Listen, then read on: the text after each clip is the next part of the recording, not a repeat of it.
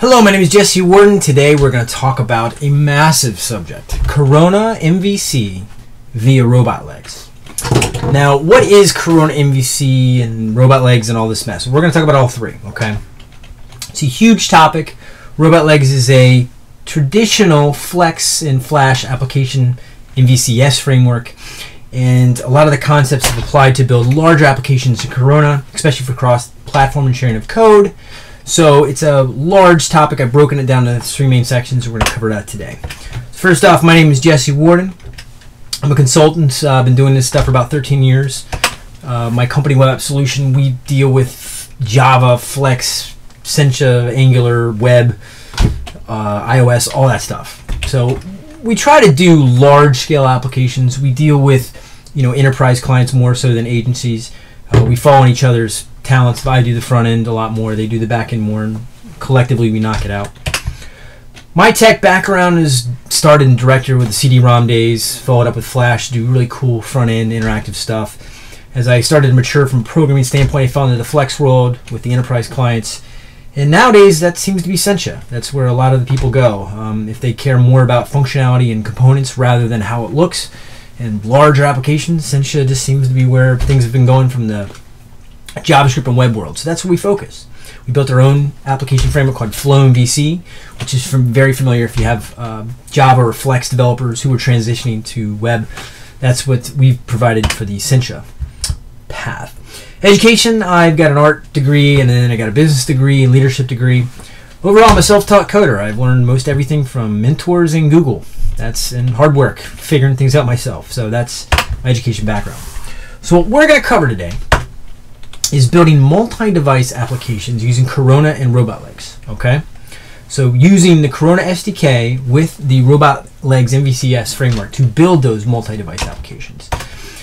The reason is you're trying to share code between devices by coupling the views data. Okay, and this is really from handling the responsive design, which has you know been application development forever. It's just the web world has done a well, much better job of marketing it and bring it, um, describing it better.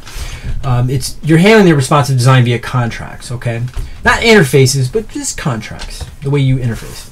So why? Well, scaling applications can be hard. If you're not familiar with doing application development, scaling large applications, not simple, you know, cross-platform apps, okay? And the reason they're called apps versus applications, but larger applications, right? When they start to mid-size and get larger, some of the concepts and techniques that enterprise developers utilize can really help you out, especially when you're starting out. So that's what we're really focused on today is scaling his application. This whole presentation is about scaling his applications on Corona SDK, okay? Again, uh, there's a lot of ways of doing it, MVC, MVP, Model View Controller, Model View Presenter. We're going to cover, cover that from a high level, not too much. Um, but that is the solution that most people have chosen. MVC, MVP, and Microsoft's Model View View Model, right? Those are the three main ways, and 50 billion derivatives, and everyone has their own way of doing it those are the solutions, okay? We're trying to prevent uh, copy pasta coding, right? The implementation that we've chosen with Model View Controller is the Robotlegs MVCS architecture, or Model View Controller Services. That has had a lot of success in a variety of Flex projects and Flash projects and ActionScript 3 Pure projects.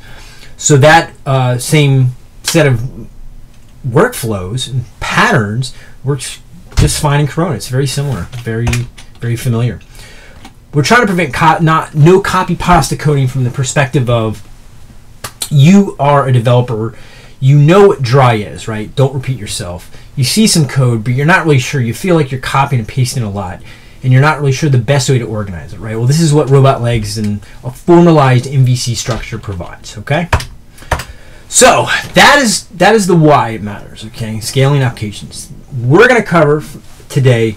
Corona, if you're not familiar with Corona or Corona SDK, what it is, what it does, what problem does it solve. Next, we're going to cover MVC from a high level, model controller. If you've never heard of it before, what does it do, right? And what's the what problems does it solve? And what is Robotlegs? If we already have MVC and Corona does apps, then why does Robotlegs matter? What's the point, right? So we're going to cover that workflow.